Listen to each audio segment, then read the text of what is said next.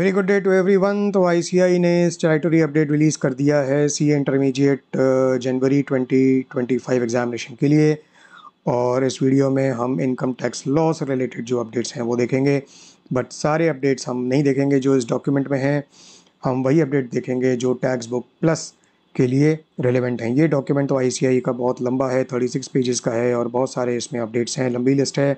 ऐसा क्यों है? ऐसा इसलिए है क्योंकि आई का जो स्टडी मटीरियल है वो अपडेटेड है सिर्फ़ थर्टी अप्रैल 2023 पिछले साल। एक साल से भी ज़्यादा का समय हो चुका है। और first May therefore first May 2023 से लेकर थर्टी जून 2024 तक के जितने अपडेट्स हैं, वो रेलिवेंट हैं जनवरी 2025 के लिए। और इसलिए इतना लंबा चौड़ा डॉक्यूमेंट इनकम टैक्स का आईसीआई ने निकाला है। लेकिन हमारे टैक्स बुक प्लस की अगर हम बात करें तो सिर्फ़ ये टेन टेन डी की गाइडलाइंस और एक T D S T C S related item है। बस यही दो चीज़ें रेलिवेंट हैं, बाकी चीज़ें रेलिवेंट नहीं हैं हमारे टैक्स बुक प्लस के लिए, क्योंकि टैक्स बुक प्लस ऑलरेडी इन सब आइटम से अपडेटेड है। All these are already incorporated there इसके पहले कि हम ये दोनों आइटम्स देखें, एक छोटा सा अपडेट मैं बताना चाहता हूँ तुम सबको, जो कि सेक्शन 43 बी से रिलेटेड है। पैरा वन वन एटीन तुमने पढ़ा होगा, और जिसमें ये फाइनेंस एक्ट 23 के द्वारा ये अमेंडमेंट आया था, जिसमें ये सम भी अब 43 बी में आ गया है। कौन सा सम है? Any sum payable to a micro और small enterprise beyond the time limit specified under section 15 of M S M E D act तो माइक्रो और स्मॉल इंटरप्राइजेस की बात हो रही है, और माइक्रो और स्मॉल इंटरप्राइज किसे कहते हैं? ये क्लासिफिकेशन है जो टैक्स बुक प्लस में दिया हुआ है, जो कि मैन्युफैक्चरिंग और जो प्रोडक्शन से लिंक्ड एंटरप्राइजेस उनके लिए सेपरेट है और सर्विस एंटरप्राइजेस के लिए सेपरेट है, लेकिन एक अपडेट है। इस टेबल की बजाय अब, ये टेबल क्लासिफिकेशन की इसको नोट कर लो, जो कि कॉमन है मैन्युफैक्चरिंग एंटरप्राइजेज और सर्विस एंटरप्राइजेस के लिए। और investment in plant and machinery और इक्विपमेंट और टर्नओवर इससे लिंक्ड है क्लासिफिकेशन सो बेसिकली अगर प्लांट एंड मशीनरी और इक्विपमेंट में इन्वेस्टमेंट वन करोड़ से ज़्यादा नहीं है और ओके क्यूमुलेटिव कंडीशन है। एंड टर्नओवर फाइव करोड़ से ज़्यादा नहीं है। ये कंडीशन एंड ये कंडीशन अगर मीट होती है तो क्लासिफिकेशन क्या बन जाएगा? माइक्रो एंटरप्राइजेस का। अगर investment in plant and machinery और इक्विपमेंट टेन करोड़ से ज़्यादा नहीं है एंड टर्नओवर फिफ्टी करोड़ से ज़्यादा नहीं है तो स्मॉल एंटरप्राइज बन जाएगा। इसको स्ट्रिक्टली याद करने की ज़रूरत नहीं है, इसको बस नोट कर लो, क्योंकि क्वेश्चन में ये नहीं पूछा जाएगा तुमसे कि भाई ये फिगर्स हैं, अब डिटरमाइन करो कि माइक्रो है कि स्मॉल है कि मीडियम है, और फिर 43 भी लगाओ। क्वेश्चन में हाईली लाइकली है कि क्वेश्चन में ही दिया रहेगा क्लासिफिकेशन कि भाई ये माइक्रो है कि स्मॉल है कि मीडियम है, और अकॉर्डिंगली 43 बी का एप्लीकेशन करो। तो ये तुम्हारे नॉलेज और रेफरेंस के लिए इस पॉइंट को नोट कर लो। अब चलते हैं सीधे अपने स्टैटरी अपडेट में और पहले देखते हैं guideline centre section ten ten D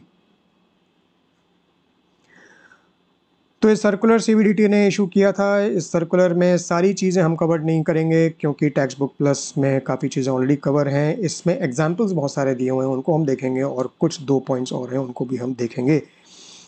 तो एग्जांपल्स हम देखेंगे जिसमें ये डिमॉन्स्ट्रेट किया है सी ने एग्ज़ाम्पल्स के के मीडियम से। कि टेन टेन डी में एग्जामेशन मिलेगा कि नहीं मिलेगा। और ये सर्कुलर इसीलिए आया था क्योंकि फाइनेंस एक्ट 2023 में टेन टेन डी में आ, जो है वो अमेंडमेंट आया था। और उसको ज़रा सा एक बार देख लेते हैं फिर एग्जांपल्स की और हम बढ़ेंगे। तो लाइफ इंश्योरेंस पॉलिसी की ये पेज सेवेंटी है अपनी बुक का। तो लाइफ इंश्योरेंस पॉलिसी का जैसा तुमने पढ़ा हुआ है कि अगर की मैन इंश्योरेंस पॉलिसी है तो तो वो टैक्सेबल होती है। उसका जो प्रोसीड्स होता है सम रिसीव्ड ऑन मेच्योरिटी अगर एक्सेस प्रीमियम पॉलिसी है तो डेथ के केस में एग्ज़ाम होती है, बाकी केसेस में टैक्सेबल होती है और अगर कोई और पॉलिसी है तो वो हर केस में एग्ज़ाम रहती है, ठीक है? तो एक्सेस प्रीमियम पॉलिसी किसको बोलते हैं? उसको बोलते हैं जिसमें या तो कंडीशन वन या टू या बोथ या दोनों ही मीट हो रही हों। एक्सेस प्रीमियम पॉलिसी बोलते हैं और फिर अगर डेथ का केस नहीं है तो वो फिर एग्जामेशन नहीं मिलता टेन टेन डी में वो टैक्सेबल बन जाती है। कंडीशन वन क्या है? Premium payable for any of the policy years exceeds a prescribed percentage of sum assured. और ये प्रिस्क्राइब परसेंटेज क्या है? Date of issue of policy पे डिपेंड करता है। और परसेंटेज बेसिकली ट्वेंटी परसेंट या फिफ्टीन परसेंट या टेन परसेंट हो सकता है एज द केस में भी तो अगर किसी भी पॉलिसी ईयर में प्रीमियम इस परसेंटेज से एक्सीड कर रहा है परसेंटेज ऑफ़ सम एश्योर्ड तो ये एक्सेस प्रीमियम पॉलिसी बन जाएगी और टैक्सेबल बन जाएगी। और या फिर कंडीशन टू मीट हो रही हो। ये फाइनेंस एक्ट 23 में आई थी। क्या है? पॉलिसी इज़ इशूड ऑन और after first April 23 and the premium payable for any of the policy years किसी भी पॉलिसी ईयर में premium is more than five lakh five lakh से ज़्यादा है। तो और पॉलिसी ऑन और आफ्टर फ़र्स्ट अप्रैल 23 जो है वो इशू uh, है। तो फिर वो एक्सेस प्रीमियम पॉलिसी बन जाएगी। तो या तो वन या टू या दोनों तो एक्सेस प्रीमियम पॉलिसी बन जाएगी और एग्जामेशन नहीं मिलेगा। तो एग्जाम्पल्स दिए हुए हैं, बहुत सारे एग्जाम्पल्स को एक बार देखते हैं, उससे क्लैरिटी आ जाएगी। तो इन सारे एग्जाम्पल्स में अगर तुम देखो तो जो कंडीशन वन है, वो मीट नहीं हो रही है। क्योंकि सारे एग्जाम्पल्स में एनअल प्रीमियम जो है, वो समय शोट का टेन परसेंट से ज़्यादा नहीं है। तो कंडीशन वन मीट नहीं हो रही है। एग्जैक्ट टेन परसेंट है, सारे एग्जाम्पल्स में, क्योंकि ये सर्कुलर ही कंडीशन टू से रिलेटेड आया है। तो बेसिकली सारे एग्जाम्पल्स में हमको बस ये देखना है कि कंडीशन टू जो फाइव लाख की लिमिट वाली है और policy first April twenty twenty three या उसके बाद इशू हुई है, वो मीट हो रही है कि नहीं? क्योंकि कंडीशन वन तो किसी भी एग्ज़ाम्पल में मीट नहीं हो रही है तो और कंडीशन टू मीट हो गई तो एक्सेस प्रीमियम पॉलिसी बन जाएगी और एग्जामेशन नहीं मिलेगा। तो इस एग्ज़ाम्पल में date of issue first April 2013 है। तो ये फ़र्स्ट अप्रैल 2023 के पहले है तो कंडीशन टू का रेलेवेंस नहीं है इसमें। कंडीशन वन का रेलेवेंस है, जो हमने ऑलरेडी देखा कि इसमें एनुअल प्रीमियम सम एश्योर्ड का टेन परसेंट से ज़्यादा नहीं है तो कंडीशन वन भी मीट नहीं हो रही है कंडीशन टू भी मीट नहीं हो रही है तो एग्जामेशन मिलेगा टैक्सेबल नहीं है तो policy A will be exam सीधा सीधा एग्ज़ाम्पल है। एग्ज़ाम्पल टू में अब ये डेट ऑफ़ इशू बन गई है फ़र्स्ट अप्रैल ट्वेंटी थ्री जो कि कंडीशन टू अब रेलिवेंट बन गया है क्योंकि ऑन और after first April twenty three की डेट है उसमें ना तो अब हमें कंडीशन टू चेक करनी है। यहाँ भी कंडीशन वन तो सेटिस्फाई नहीं हो रही है, क्योंकि annual premium is not more than ten percent of sum assured condition two भी सेटिस्फाइड नहीं हो रही है, क्योंकि एनुअल प्रीमियम फाइव लाख से ज़्यादा नहीं एग्जैक्ट फाइव लाख है। तो दोनों कंडीशन सेटिस्फाई नहीं हो रही है एक्सेस प्रीमियम पॉलिसी नहीं है एग्जामेशन मिलेगा। एग्ज़ाम्पल थ्री में आते हैं। Date of issue first April 23 है। कंडीशन वन मीट नहीं हो रही है क्योंकि sum annual premium sum assured का टेन परसेंट से ज़्यादा नहीं है, लेकिन एनुअल प्रीमियम फाइव लाख से ज़्यादा है सिक्स लाख तो इसलिए कंडीशन टू मीट हो गई एक्सेस प्रीमियम पॉलिसी बन गई तो टैक्सेबल रहेगी एग्जामेशन नहीं मिलेगा। क्लियर अब यहाँ पर दो पॉलिसीज़ आ गई। तो जब दो पॉलिसीज़ होती हैं मतलब मल्टीपल पॉलिसीज़ के केसेस में हमने क्या देखा था? देखो टैक्स बुक प्लस में ये कंडीशन टू से रिलेटेड है। कंडीशन टू से। यहाँ तो एक पॉलिसी की बात हो रही है। फ़र्स्ट अप्रैल 2023 या उसके बाद का इशू है और प्रीमियम किसी भी पॉलिसी ईयर में पाँच लाख से ज़्यादा है। लेकिन अगर एक से ज़्यादा पॉलिसीज़ हैं तो क्या होगा? If the premium is payable for more than one policy और वो सारी पॉलिसीज़ क्या है? इशूड ऑन और आफ्टर फ़र्स्ट अप्रैल 23 तो एग्जामेशन किस पे मिलेगा? Only with respect to those policies कौन सी policies where the aggregate amount of premium doesn't exceed five lakh in any of the policy years मतलब एग्रीगेट निकालना है हमको। In any of the policy years जो aggregate है तो common policy years को देख लो और उसमें किसी भी साल में देख लो कि एग्रीगेट जो प्रीमियम है आ, अगर पाँच लाख से ज़्यादा नहीं है तो उन पॉलिसीज़ पे एग्जामेशन मिल जाएगा वरना नहीं मिलेगा। ठीक है? तो ये है पोजीशन अब जैसे इस एग्जांपल में देखो ए और बी दो पॉलिसीज़ हैं दोनों फ़र्स्ट अप्रैल 2023 की इशू हैं। कंडीशन वन नहीं मीट हो रही है क्योंकि annual premium is not more than ten percent of sum assured और एनुअल प्रीमियम का यहाँ पर एग्रीगेट निकालो तो पाँच लाख बनता है, जो पाँच लाख से ज़्यादा नहीं है।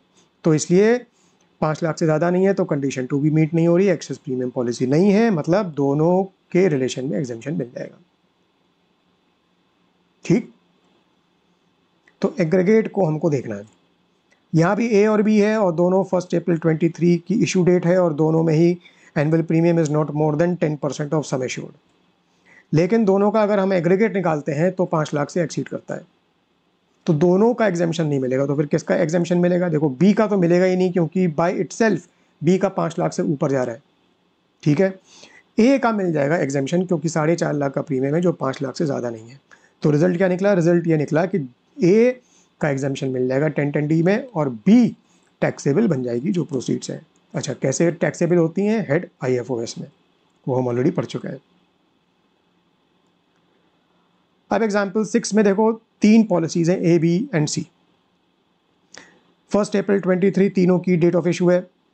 Annual premium is not more than ten percent of sum assured condition one को निकाल दो। अब कंडीशन टू पे आते हैं। तीनों का एग्रीगेट लो तो पाँच लाख से ऊपर निकलता है तो तीनों का तो एग्जामेशन नहीं मिलेगा। सी बाई इट इसका एग्जामेशन नहीं मिलेगा, क्योंकि छः लाख तो पाँच लाख से ज़्यादा है ही। ए और बी को एग्रीगेट कर दो तो साढ़े चार लाख बनता है, जो पाँच लाख से ज़्यादा नहीं है तो ए और बी पॉलिसीज़ का एग्जामेशन मिल जाएगा। सी टैक्सेबल बन जाएगा सी का एग्जामेशन नहीं मिलेगा। इस हिसाब से देखना है हमें। ठीक? अब एग्ज़ाम्पल सेवन ले लो। यहाँ पर चार पॉलिसीज़ है एक्स ए बी और सी एक्स फ़र्स्ट अप्रैल 22 को इशू हुई है, जो फ़र्स्ट अप्रैल 23 के पहले की डेट है। तो कंडीशन टू इसमें रेलिवेंट नहीं है, सिर्फ़ कंडीशन वन इसमें रेलिवेंट है। और बाकी ए बी और सी एक साल बाद डेट ऑफ़ इशू है। चारों में annual premium is not more than ten percent of sum assured तो कंडीशन बन गई। अब बची condition two condition two X के केस में कंडीशन टू अप्लाई नहीं हो रही है तो एक्स में तो सिर्फ़ कंडीशन वन रेलिवेंट है जो मीट नहीं हो रही है तो एक्स एक्सेस प्रीमियम पॉलिसी नहीं है तो एक्स के रिलेशन में तो एग्जामेशन मिल रहा है। तो एक्स बन गई एग्जाम्प्ट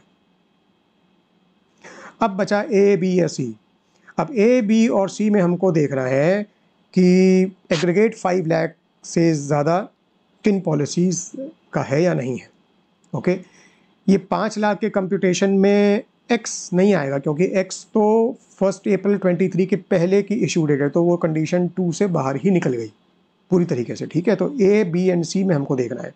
तो तीनों का तो नहीं मिलेगा, क्योंकि एग्रीगेट फाइव लाख से ऊपर जा रहा है। सी में भी नहीं मिलेगा, क्योंकि C by itself five से ऊपर जा रहा है। ए और बी का मिल जाएगा, क्योंकि four lakh fifty thousand aggregate है, जो कि पाँच लाख से ज़्यादा नहीं है।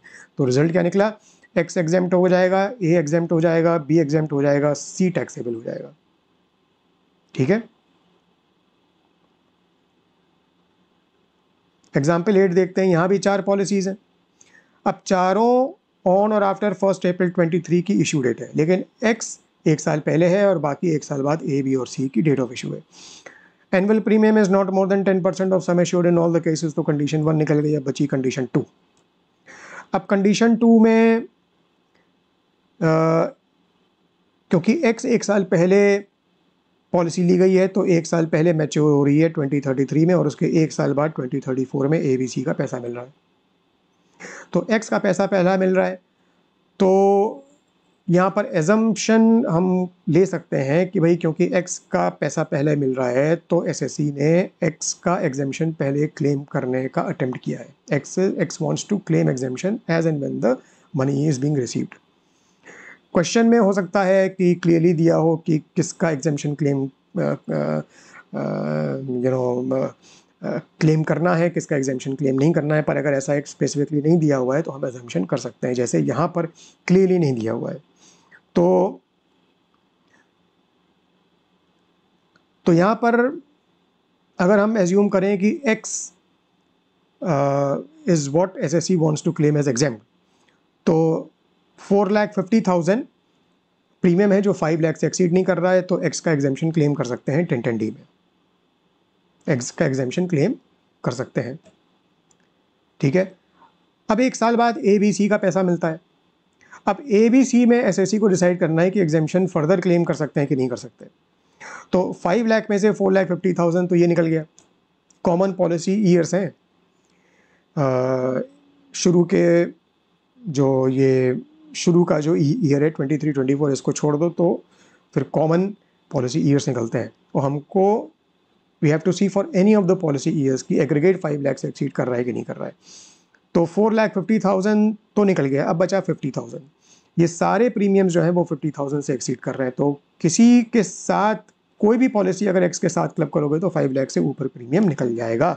तो रिज़ल्ट क्या निकलेगा कि सिर्फ़ एक्स का एग्जामेशन क्लेम कर पाएँगे ए बी सी टैक्सेबल बन जाएगा। ठीक?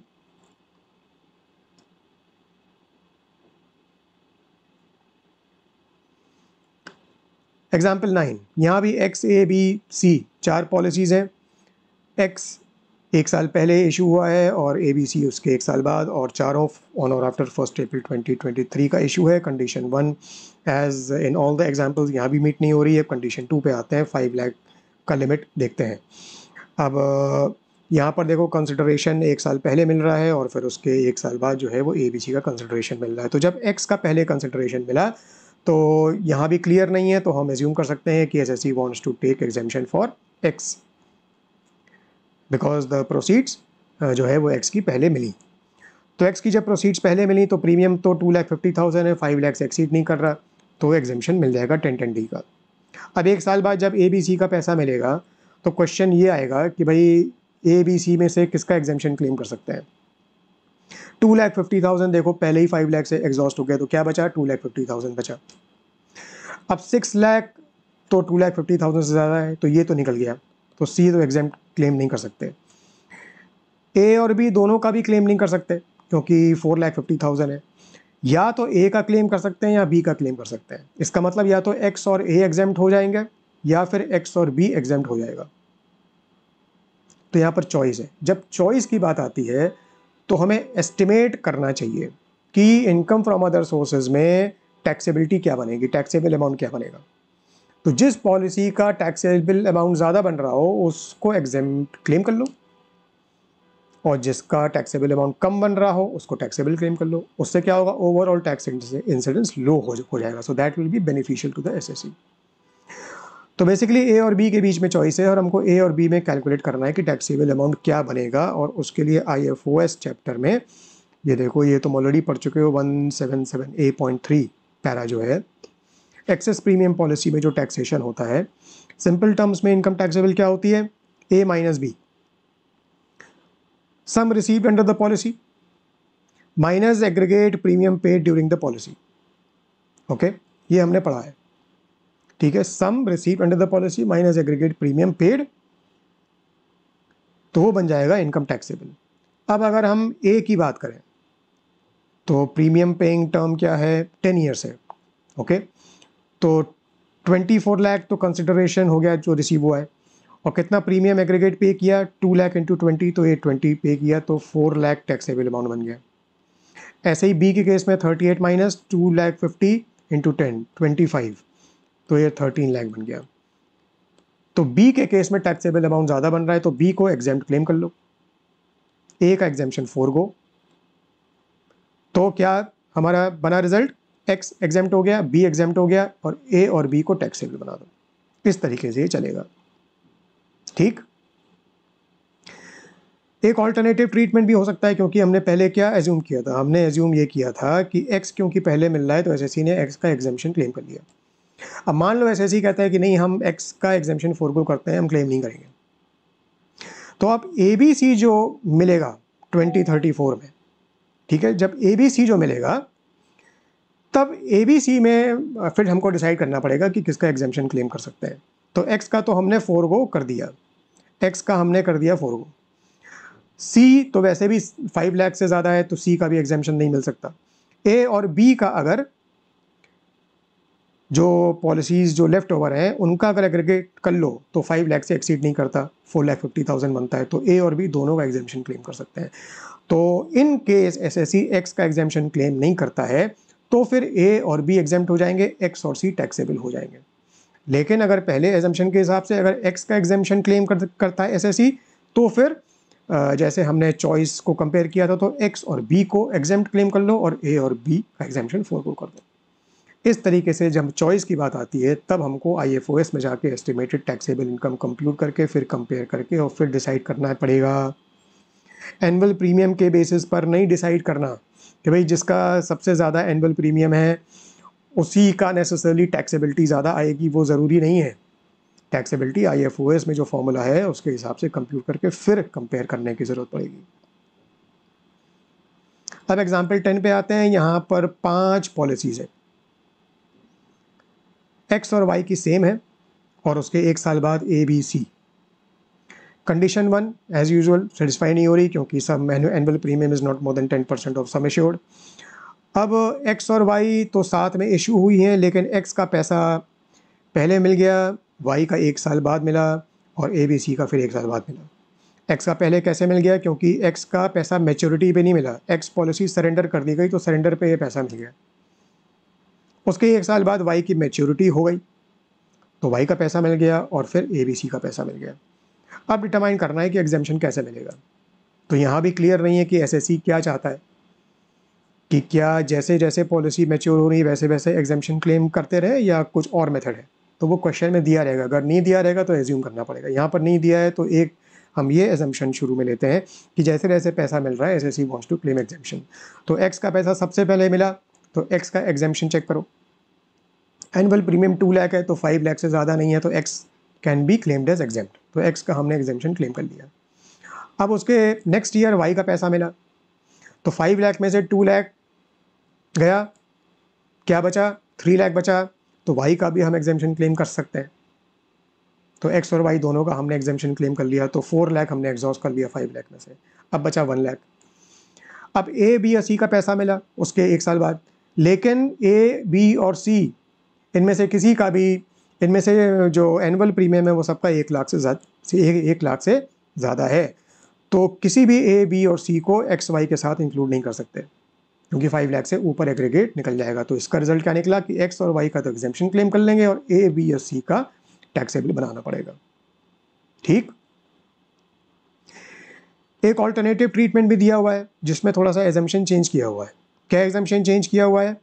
कि if the consideration on surrender under policy X was not claim to be exempt अगर एक्स का सबसे पहला प्रोसीड्स मिल रही हैं, लेकिन एसएससी ने बोला कि भाई हम फोरगो करते हैं I will not claim exemption उसके बाद जो पॉलिसीज़ आ रही हैं, उसमें हम एग्जामेशन क्लेम करेंगे। तो एक्स में एग्जामेशन क्लेम नहीं किया। ठीक है? अब उसके बाद वाई का पैसा मिला। तो वाई में हम एग्जामेशन क्लेम कर सकते हैं क्योंकि फाइव लाख का जो अमाउंट है वो आ, ये जो एनुअल प्रीमियम टू लाख का है वो फाइव लाख से एक्सीड नहीं कर रहा है। तो वाई का हमने एग्जामेशन क्लेम कर लिया अब उसके बाद ए बी और सी मिले। अब ए बी और सी में किसका एग्जामेशन क्लेम कर सकते हैं? तो फाइव लाख में से टू लाख अगर निकाल दो तो कितना बचा बैलेंस थ्री लाख बचा। सिक्स लाख तो वैसे भी by itself five lakh से ज़्यादा है तो सी तो गया। सी का एग्जामेशन क्लेम नहीं कर सकते। थ्री लैख बैलेंस में ए का भी कर सकते हैं और बी का भी कर सकते हैं। क्योंकि Y plus A five lakh से ज़्यादा नहीं होगा वाई प्लस बी भी फाइव लैख से ज़्यादा नहीं होगा। तो यहाँ फिर चॉइस आ गई। अब जब चॉइस आती है तो क्या करते हैं? आई एफ़ ओ एस में एस्टिमेटेड टैक्सेबल इनकम हम निकालते हैं। तो क्या रहेगा भाई? तो first April twenty four first November twenty thirty five दस या ग्यारह साल का टर्म है। ग्यारह साल मान के चलो तो ट्वेंटी टू लैख हो गया, थर्टी थ्री लैख हो गया प्रीमियम तो कंसिडरेशन ट्वेंटी फोर लैख हो गया माइनस ट्वेंटी टू लैख, ये टू लैख बन गया आई एफ़ ओ एस में इतना टैक्सेबल होगा. Thirty six minus thirty three lakh, ये थ्री लैख हो गया. तो ये जो पॉलिसी बी है, इसका टैक्सेबल अमाउंट ज़्यादा बन रहा है. तो इसका मतलब पॉलिसी बी को अगर हम एग्ज़ाम क्लेम कर लें तो it will be more beneficial to the SSC तो हम पॉलिसी बी को एग्ज़ाम क्लेम कर लें तो कॉन्सिक्वेंटली ए का एग्जामेशन फोर को करना पड़ेगा। तो अगर हम एग्जामेशन ये लेते हैं कि भाई एक्स का एग्जामेशन क्लेम नहीं किया तो रिज़ल्ट क्या निकलेगा? तो रिज़ल्ट ये निकलेगा कि वाई और बी एग्ज़ाम हो जाएँगे और बाकी पॉलिसीज़ टैक्सेबल हो जाएँगी। तो इस तरीके से हमको क्वेश्चन को एनालाइज करके और फिर देखना पड़ेगा। ये सारे एग्जाम्पल्स सर्कुलर में दिए हुए हैं। ठीक है? अब नेक्स्ट पॉइंट की तरफ़ आते हैं। क्लियरिफिकेशन ऑन जीएसटी कंपोनेंट जैसे मान लो सम एश्योर्ड है फिफ्टी लाख और एनुअल प्रीमियम है फाइव लाख और ऑन और फ़र्स्ट अप्रैल 2023 है, उसके बाद डेट ऑफ़ इशू है। तो कंडीशन वन तो मीट नहीं होगी, क्योंकि टेन परसेंट से ज़्यादा नहीं है फाइव लैख और कंडीशन टू भी फाइव लैख फाइव लैख से ज़्यादा नहीं है। तो एक्सेस प्रीमियम पॉलिसी नहीं बनेगी। लेकिन इस पर जीएसटी भी तो लगता है। अगर जीएसटी अगर अगर जीएसटी अप्लाई हुआ है और अगर जीएसटी अगर तुम प्रीमियम में ऐड कर दो, अगर जीएसटी प्रीमियम में ऐड कर दो तो ये एनुअल प्रीमियम फाइव लैख से ज़्यादा निकल जाएगा। तो फिर क्या होगा? क्या इसका मतलब फाइव लैख से ज़्यादा हो गया है? तो भाई एक्सेस प्रीमियम पॉलिसी बन गई, अब एग्जामेशन नहीं मिलेगा। तो इस पे सी ने क्या क्लेरिफाई किया है कि premium will be exclusive of GST payable GST को इग्नोर कर दो जीएसटी को इंक्लूड नहीं करो तो फाइव लाख का फाइव लाख ही रहेगा एग्जामेशन मिल जाएगा। तो जीएसटी अगर क्वेश्चन में दिया हो तो जीएसटी को प्रीमियम में ऐड नहीं करना। नेक्स्ट आता है term life insurance policy term life insurance policy क्या होती है? एक पर्टिकुलर टर्म के लिए होती है। फॉर एग्ज़ाम्पल टेन ईयर की पॉलिसी ली तो टेन ईयर हो गया टर्म हर साल उसका एनुअल प्रीमियम देना पड़ेगा। ठीक है? दस साल तक अगर अगर दस साल के अंदर अंदर मतलब टर्म के एक्सपायरी के पहले अनफॉर्चुनेट डेथ अगर हो जाती है पॉलिसी होल्डर की तो क्या होगा? इंश्योरेंस कंपनी जो है वो सम एश्योर्ड मान लो टेन लैख सम एश्योर्ड है ओके तो ten lakh rupees sum assured वो नॉमिनी को पे कर देगी। और अगर policy holder survive the term of ten years तो उसके बाद क्या होगा? इंश्योरेंस कंपनी सम एश्योर्ड में से कुछ भी नहीं देगी। टर्म खत्म सम एश्योर्ड नहीं मिलेगा प्रीमियम जो दिया, वो दिया, वो भी रिटर्न नहीं होगा। इसका मतलब this is in the nature of pure insurance इनमें कोई इन्वेस्टमेंट कॉम्पोनेंट नहीं है। जैसे हमने पिछले सारे एग्जाम्पल्स देखे, उसमें कंसिडरेशन मेच्योरिटी पे मिल रहा है। बोनस भी हो सकता है, मिले, कुछ और भी पैसा मिले। तो वो इन्वेस्टमेंट कंपोनेंट होता है और इसलिए टेन टेन डी में सारी लाइफ इंश्योरेंस पॉलिसीज़ का एग्जामेशन नहीं मिलता। जिनमें इन्वेस्टमेंट कंपोनेंट है, उनको हम टैक्सेबल बना देते हैं। लेकिन टर्म लाइफ इंश्योरेंस पॉलिसी की जब हम बात कर रहे हैं तो ये तो प्योर लाइफ इंश्योरेंस पॉलिसी का केस है। इसमें इन्वेस्टमेंट कॉम्पोनेंट नहीं है तो ये एग्ज़ाम रहती है। जैसे अपने चैप्टर में भी तुम देख लो की मैन इंश्योरेंस पॉलिसी को छोड़ दो एक्सेस प्रीमियम पॉलिसी को छोड़ दो। जो बाकी बची हुई पॉलिसीज़ हैं, जिनमें ये टर्म लाइफ इंश्योरेंस पॉलिसी भी आती है तो वो डेथ पे मिले या ना मिले, कैसे भी मिले सॉरी डेथ पे अगर नॉमिनी को पेमेंट मिलता है तो वो एग्ज़ाम रहता है। अगर डेथ का केस नहीं है तो तो वैसे भी टर्म लाइफ इंश्योरेंस पॉलिसी में कुछ नहीं मिलेगा। तो क्लेरिफिकेशन क्या दिया हुआ है कि sum receive under a term life insurance policy shall continue to be exam under ten twenty irrespective of the amount of premium payable in respect of such policy एक लाख हो, दो लाख हो, पाँच लाख हो, दस लाख हो। क्योंकि वो टर्म इंश्योरेंस पॉलिसी है तो कितना भी प्रीमियम हो, पाँच लाख के थ्रेसोल्ड से ज़्यादा भी हो तो भी एक्सेस प्रीमियम पॉलिसी नहीं बनेगी टेन टेन डी का एग्जामेशन मिलेगा। अच्छा जब हम मल्टीपल पॉलिसीज़ के केस में पाँच लाख का एग्रीगेट काउंट करते हैं तो क्या टर्म लाइफ इंश्योरेंस पॉलिसी का प्रीमियम भी उसमें इंक्लूड करके एग्रीगेट को हम देखेंगे? नहीं।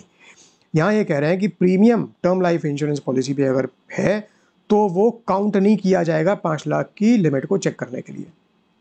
मतलब टर्म लाइफ इंश्योरेंस पॉलिसी को एग्जेम्प्ट जो है वो करना है और पाँच लाख की एग्रीगेट लिमिट को चेक करने के लिए उसको हमको कंसिडर नहीं करना है। ठीक है? अब अपने दूसरे और आखिरी आइटम पे आते हैं अपडेट के, जो कि ये है। R B I excluded from two zero six A B and two zero six C C A ये क्या है? Two zero six A B तुमको याद होगा T D S T C S chapter में। Two zero six A B higher rate of T D S for return of income non filer cases okay return of income जो file नहीं करते हैं, उनको अगर पेमेंट कर रहे हैं तो higher rate of T D S लगता है two zero six A B में which is twice which is higher of twice the regular rate और फाइव परसेंट लेकिन 206 ए भी अप्लाई नहीं होता है, दो केसेस में। एक तो non resident who does not have a P E in in India okay और दूसरा केस ये फाइनेंस एक्ट 23 में आया था। A person who is not required to furnish the return of income of the aforesaid assessment year and is notified in this behalf तो return of income ही अगर furnish नहीं करनी है तो 206 ए बी का कोई मतलब नहीं है तो such kind of a person who is notified two zero six A भी उसको अप्लाई नहीं करेगा तो अब क्या हुआ है कि सी ने किसको नोटिफाई किया रिज़र्व बैंक ऑफ़ इंडिया को नोटिफाई किया है तो रिज़र्व बैंक अगर क्वेश्चन आता है कि भाई रिज़र्व बैंक ऑफ़ इंडिया को पेमेंट हुआ और रिज़र्व बैंक ऑफ़ इंडिया तो रिटर्न फ़ाइल ही नहीं करती तो क्या two zero six A B का higher rate of T D S लगेगा तो नहीं लगेगा क्योंकि two zero six A B से उसको एक्सक्लूड कर दिया गया है नोटिफाई कर दिया गया है। अच्छा टू जो टी सी एस है, उसमें सिमिलर जो 206 ए बी टी का करस्पॉन्डिंग प्रोविज़न है, वो टी सी एस में 206 सी सी ए का है। उसके लिए भी आर बी आई को नोटिफाई कर दिया गया है। अब आर बी आई को जब पेमेंट होता है तो तो वैसे भी टी डी एस कटता नहीं है भाई। वैसे भी नहीं कटता है टी डी ये देखो ना। सेक्शन 196 नो टी ये page 417 T D S is not to be deducted from any person from any sum payable to the R B I तो यहाँ तो वैसे भी टीडीएस नहीं कटता है, पर चलो वहाँ नोटिफाई कर दिया है तो टीडीएस हायर रेट पे नहीं कटेगा। तो ये हो गई इनकम टैक्स की बात। जीएसटी का मैं वीडियो रिलीज़ करूँगा, जब आईसीआई रिलीज़ कर देगी। कोई डाउट हो क्वेश्चन हो तो प्लीज़ कमेंट्स में लिख के मुझसे पूछो सब्सक्राइब करो वीडियो को लाइक करो शेयर करो, ज़्यादा से ज़्यादा all the best to you see you very soon in next video good bye